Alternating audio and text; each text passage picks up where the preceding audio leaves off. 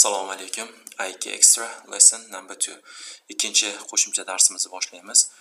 Demak, bu darslarimiz qo'shimcha ekan deb o'rganmasdan qo'ymanglar. Bu darslarimiz juda muhim. Ichida grammatika mavzulari hamda ko'plab e, lug'at boyliklarini o'stirib olishlari mumkin. Shuning uchun bu darslarimizni ham o'rganib boringlar. Ikkinchi dars tarjima qilib beraman. Glady maktabda e, o'qigan, ya'ni maktabda bo'lgan kichkina, tinch shaharchada Angliyada. U 16 yosh edi va uni otasi va onasi kambag'al edi va ularning uyi juda kichkina edi. Meyzi Gledini do'sti edi. U ham shuningdek maktabga borardi. Gledi aytdi: "Meyzi, men topmoqchiman juda boy kishini va turmush qurmoqchiman, ya'ni turmushga chiqmoqchiman unga.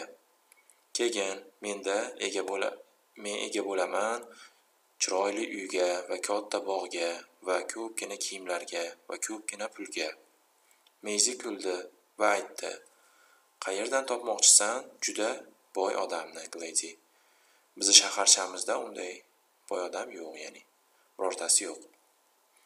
Ammo Gledi juda ham chiroyli qiz edi. Uni ko'zlari moviy edi va sochlari qora va mayin edi. U bordi Londonga va keyin u bordi Amerikaga. U topdi bo'yi uzun, juda ham boy kishini u yerda va u turmushga chiqdi unga. U 22 yosh edi o'sha paytda. Keyin u va uni eri ketishdi Angliyaga. Ular kelishdi Gledining eski uyiga va Meyzi keldi u yerga. Gledi aytdi: "Men turmushga chiqdim juda boy kishiga, Meyzi, va menda bor chiroyli uy va katta bog' va to'rtta bog'bonlar. Va men sotib oldim ko'pgina kiyimlar va menda bor ko'pgina pul shuningdek. Meni erimda bor samolyot ham. U unda uchadi." Meyzi aytdi: "Ko'pgina odamlar samolyotda uchadi. Samolyoti bor va uchadi ularda." Gledi: "Ularni uyidami?"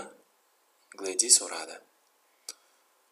Demak, hikoyani qiziqarli joyi bu yerda oxirida, ya'ni Gledi eri bilan Angliyaga qaytib kelganida u do'stini uchra do'stini do'sti ham tashrif buyuradi va do'stiga maqtanishni boshlaydi. E, uyim katta, e, bog'bonlarim bor va ko'pgina kiyimlar ko'p pulim bor. Erimni samolyoti bor, unda uchadi dedi-da. Ko'pgina odamlar samolyotda uchadi deb aytdi uni do'sti deyuvdi va Gledi aytdiki, uylaridami dedi. Demak, bularni uyi shu darajada katta ekanki, uyida uchar ekan samolyotda. Demak, exercise 1, birinchi mashq. Look at these questions. Demak, savollarga qarang. Find the right answers. To'g'ri javoblarni toping. Va undan so'ng esa e, doiraga olib qo'yishingiz yetarli. where Glady's father and mother rich? Gladyning ota-onasi boy bo'lganmi? No, they were not. Yes, they were. Yo'q, ular bo'lmagan, ha, ular bo'lgan. Demak, to'g'ri javob yo'q, ular bo'lmagan. Qolganlarni o'zlaring topib chiqasizlar. Exercise 2. Ikkinchi mashq. Write the story. Hikoyani yozing. Choose the right words each time. To'g'ri so'zni tanlang hamma vaqt. Glady's school was in a city town village. Demak, Gladyning maktabi bo'lgan kichkina shaharcha deydi, town. Qolganlarni o'zlaring topasizlar. Juda oson. Exercise 3. Uchinchi mashqimiz grammatika. We use the have has done tense, the present perfect. Example: has been, have opened. When the results of the action is still there, but we use the did tense, the past simple, when it's not, or when the time at which it happened is given. Demak, tushuntirib beraman. Biz foydalanamiz have, has, done, ya'ni present perfect zamonini qachonki natija o'sha yerda bo'lsa, ya'ni natija muhim bo'lgan paytda ishlatar ekanmiz. Misol uchun I have opened the door. Men eshikni ochdim. demak qachon ochganimiz muhim emas. Ammo biz ishlatamiz did tense ya'ni o'tgan zamondagi shaklda. Misol uchun i opened the door yesterday. Men ochdim eshikni kecha. When it's not deyapti ya'ni natija muhim emas lekin vaqt muhim. Endi mashqlarga qaraymiz. Look at these examples. Gladys has opened the window. Look it's open. Demek perfect zamonda ishlatyapti. Uh, natijani ko'rsatyapti. Qarang oyna ochiq. Gladys opened the window at 2 o'clock. Endi bu yerda Glady ochdi o'tgan zamonda. Vaqt berilyapti soat 2 da ochgan. Demak qachon ochganligi muhim. But now she has shut it. Endi esa yopdi uni. Endi yana natija muhim. Look it's shut. Qarang bu yopiq. Keyingisi mashqlari. Put bought has bought ya'ni bayda o'tgan zamondagi shakli bought sotib oldi. Natija perfect zamondagi shakli has bought came has come.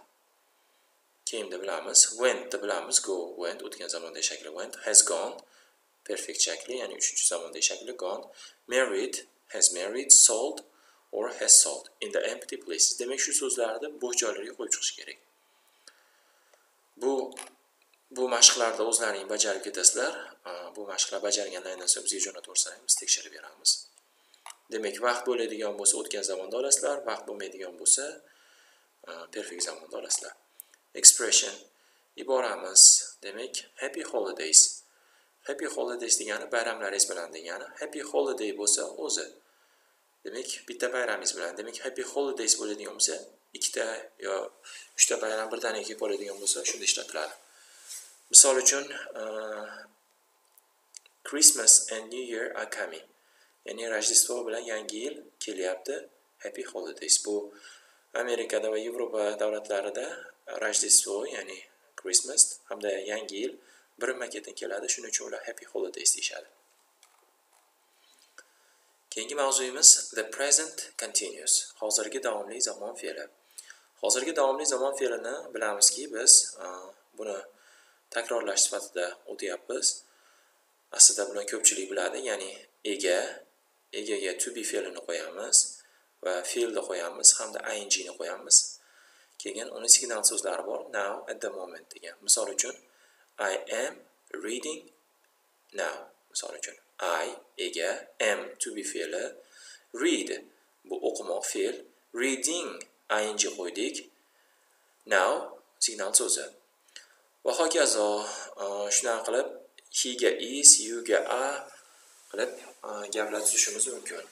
Bu yerda uh, use the following verbs to complete the jokes deyapti. Quyidagi fe'llardan foydalanib hazillarni to'ldirish kerak. Watch your spelling ya'ni yozishingizga e'tibor bering. Demak man ikkita tevadan va ikkita pastidan tushuntirib berishga harakat qilaman bu darsimizda. Demak birinchisi the police are fe'l for a man with one eye called smith demak politsiya nima qiladi? Oqtaradi. Lookingni qo'yish kerak. Looking for qidirmoq. The police are looking for a man with one eye called smith demak politsiya oqtaryapti. Bir ko'zli demak ismi smith ekan. What's his other eye called?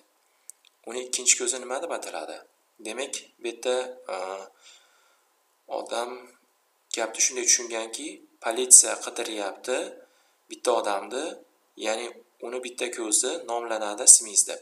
O'zi aslida bir ko'zli ismi smis deb tarjima qilish kerak. U boshqacha tushungan va uni ikkinchi ko'zi nima deb ataladi boshqa ko'zi nima deb ataladi deb so'ragan. Ikkinchisi tell the passengers that i have both good news and bad news for them. Demak e, passajirlarga ya'ni yo'lovchilarga ayting menda bor yaxshi va yomon yangilik ular uchun. What's a good news? Yaxshi xabar nima?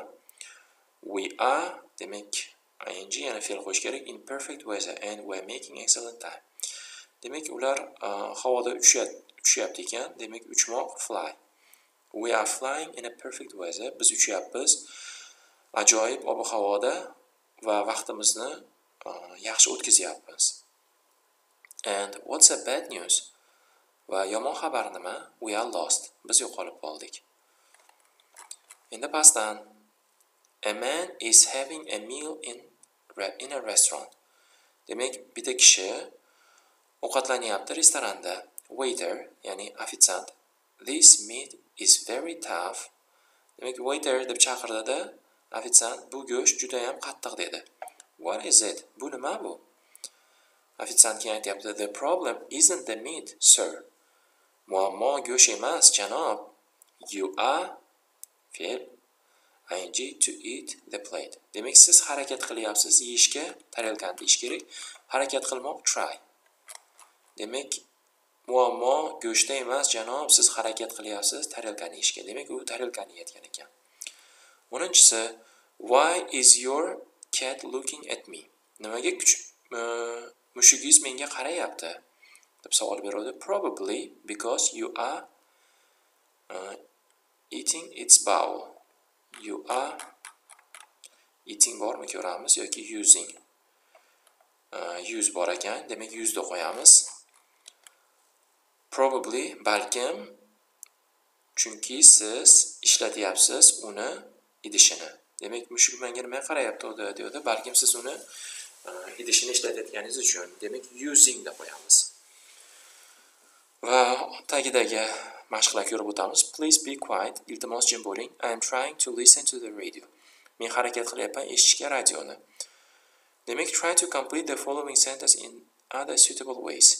Harakat qiling to'ldirishga ushbu gaplarni e, mos keluvchi yo'lda. Use a pattern. Namunadan foydalaning. Misol uchun mana shu namuna please be quiet. I'm trying to.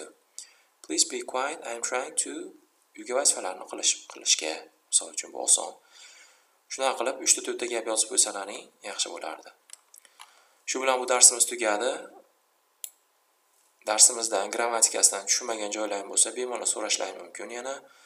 Va ushbu exercise uchdagi grammatikani ham tushunmagan joylaring bo'lsa bizga yozsalaring yoki mashqlarni bajarsalaring biz sizlarga tekshirib beramiz. Avvalgidek aytganimdek hikoyani boshidan oxirigacha yodlash shart emas faqatgina ko'proq eshitib tushunganlaringni aytib bersang ham bo'ldi. Badiiy adabiyotlarni o'qib turinglar va bizga javoblar jo'natinglar biz sizlarga feedback ya'ni o'zimizni fikr mulohazalarimizni ya'ni sizlarga jo'natib yuboramiz.